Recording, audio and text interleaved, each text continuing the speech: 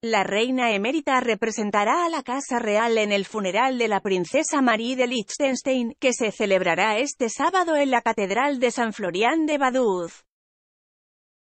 El final del verano para la reina Sofía viene marcado por un acto oficial de luto, el último adiós a la princesa Marie de Liechtenstein, fallecida el pasado 21 de agosto a los 81 años de edad tras sufrir un infarto cerebral en una clínica de Graz, Suiza. Doña Sofía asistirá en representación de la Casa Real al funeral de Estado que tendrá lugar el sábado 28 en la Catedral San Florian de Vaduz del Principado. Se espera que muchos otros representantes de la gota europea también acudan a despedir a la esposa del príncipe soberano Hans Adam II. La reina emérita abandona Mallorca y su refugio en el Palacio de Marivent, donde ha pasado sus vacaciones para retomar su agenda institucional con esta cita tan triste. La noticia del fallecimiento de la princesa Marie le habrá tocado el corazoncito, pues la conocía personalmente y estuvo presente en uno de los momentos más importantes de su vida. Y es que doña Sofía fue una de las invitadas a la boda de Marie con Hans Adam Liechtenstein hace 44 años. La condesa Marie Kinsky de W.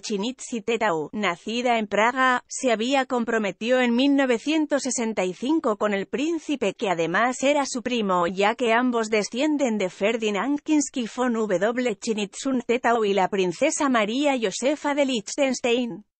Aquel enlace se celebró el 30 de julio de 1967 en la iglesia parroquial de San Florian en Vaduz, la capital del país, y la entonces reina Sofía estuvo allí, al igual que su hermana, la princesa Irene. El 13 de noviembre de 1989, su marido llegó al trono de Liechtenstein tras la muerte de su padre, el príncipe Francisco José II, lo que la convertía a ella en la princesa consorte de este pequeño principado de habla alemana que está situado entre Austria y Suiza. Sin embargo, el 15 de agosto de 2004, la pareja decidió dar un paso atrás. Manteniendo el título de príncipe soberano, Hans Adam II consideró que había llegado el momento de dejar la regencia del país a su hijo mayor. Del matrimonio de Marie Hans Adam han nacido cuatro hijos, el príncipe heredero Alois 11 de junio de 1968, casado con la princesa consorte Sophie, el príncipe Maximiliano, 16 de mayo de 1969, el príncipe Constantine, 15 de marzo de 1972, y la princesa Tatiana, 10 de abril de 1973. Y tiene en la actualidad 15 nietos.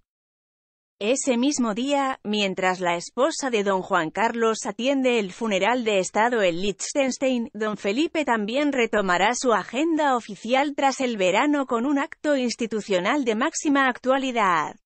A las 11 de la mañana del sábado 28, el rey visitará el centro de acogida temporal en la base aérea de Torrejón, Madrid, con motivo de la operación de repatriación desde Afganistán.